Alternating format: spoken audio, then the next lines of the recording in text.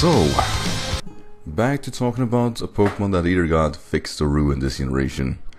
And uh, Gourgeist for me is a personal favorite, a Pokemon I absolutely loved in X and Y.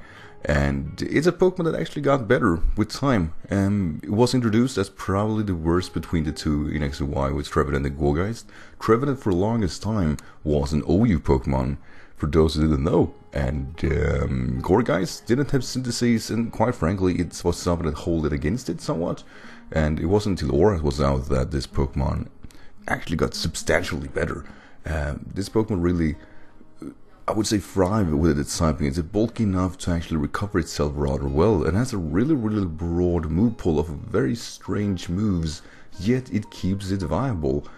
So when it comes to ORAS itself, Gourgeist standed tall and was absolutely superior grass and ghost type.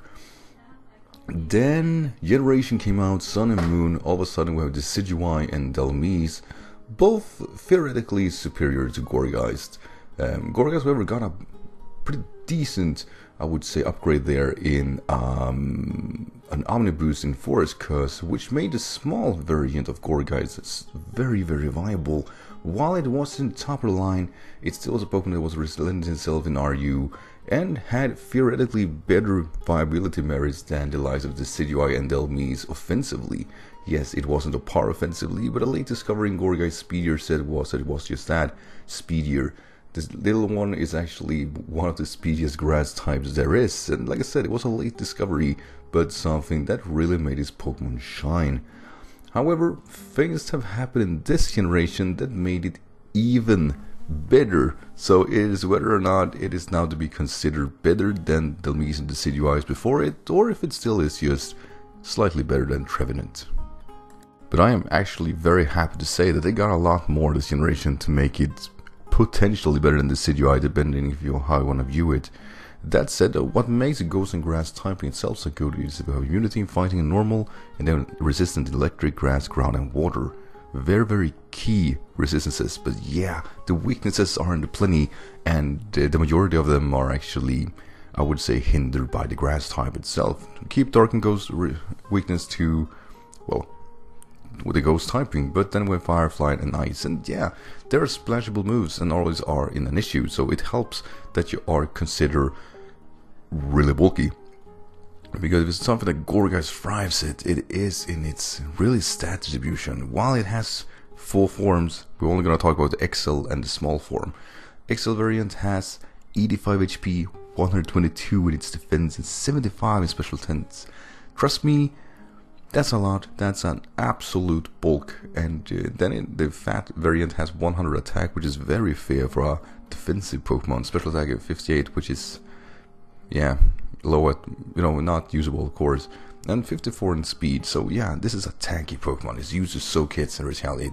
But it is speedier than most defensive threats also. So it's not without issues. It's actually is quite nice, of course. But yeah, it's not necessarily all that speedy. What but what did happen in this generation that makes it thrive so much? Well, first and foremost, Gourgeist has never really had a proper grass stab. It always has Seed Bomb, and it's always been like a fair filler at best. This generation got Power Whip, that is theoretically 40% stronger. So it now has a very, very spammable move that does significant amount of damage, even with or without investment. That is incredible and really, really awesome. Another aspect that may or may not actually sound viable is Nasty Plot. Yes, it has a low 58 special attack, plus 2 maybe make it threatening. But the reason it is of relevance is because this Pokemon has all weird splashable special moves. It has Fire Blast, Moon Blast, Focus Blast, Shadow Ball, Giga Drain, and it's just weird. It's clearly viable on the special offensive side, and uh, with that in mind, Nasty Plot might actually provide some really, really good utilities. It makes it somewhat unwavered switch into, and it's clearly bulky enough with XL form to catch a Nasty Plot and still be able to go for something like a Synthesis to recover. So, it's kinda nice. The only thing I really missed that this Pokemon didn't get was Body Press. I think that would have pushed its viability even higher. But quite frankly, it now has assets to not only pull a defensive role nicely, but it has offensive merits, which is something it lacked before. This Pokemon, of course, has no real move uh, when it comes to Ghost type besides of Phantom Force and Shadow Sneak. And Shadow Sneak is quite good for it. As a priority for a Ghost Pokemon that is slow is kinda nice, but the Phantom Force is really good for the little form. Because the quote speedy variant of 99 base speed is uh, annoyer Pokemon. It can be run as a sweeper even though 85 in its attack is decent at best, but if anything, it has two real strong roles, really. The one is, of course, the Leech Seed variant, which is uh, defined by being an annoyer.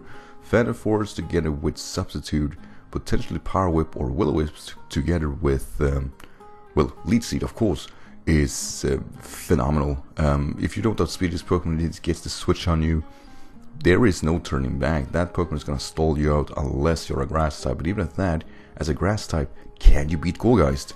That's rarely the case, and consider that you, this Pokemon usually carry Phantom Force, which covers a lot here.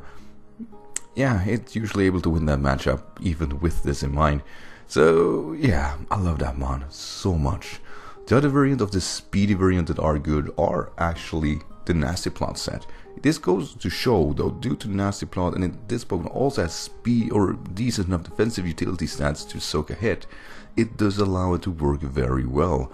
It can run a more offensive set. I've seen Choice Band to get with Power Whip, Shadow Sneak, and something like Phantom Force, and just overall coverage, and it does work for it. It's not ideal, but it works. And for me, that just makes Gourgeist having these different forms and different strats involved with them something that is uncanny. And I think this one, this one Pokemon its own, is a very forgotten one because it is just keep getting better. And I really hope they keep making this guy better.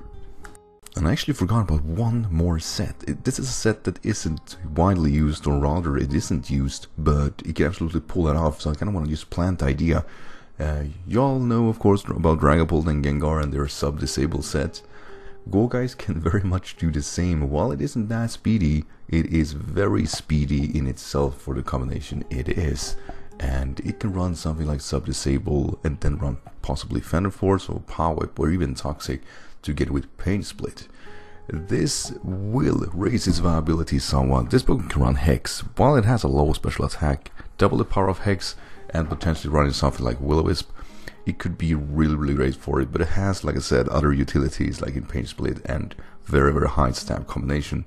So I encourage you guys to test this out. Just that it is able to pull those rolls off because it is that speedy and potentially has that low HP it makes it a really really strange Pokemon and I couldn't love it more for it. So is Gourgeist a perfect Pokemon? Of course not, but when you look upon viability and its defensive merits, it's very hard to not look at Tangrowth without clearly missing this generation and think, this guy holds its own, and it has accessibility to pull off defensive roles that I think people are forgetting and I find it very unfortunate. It's speed enough to recover versus things, and quite frankly, the burning aspect is always nice. Yes, we have now, of course, uh, a generation where Hydreigon eats everybody, so why not throw this guy a Moonblast? but really, I I think Gourgeist is incredible, and I think it being so rarely used does kind of bother me, as this Pokemon just kept getting better, and uh, I can only wish this guy get body press and then we call it a day. So thank you Pokemon for of course fixing this Pokemon and keep making it better because Gourgeist is awesome.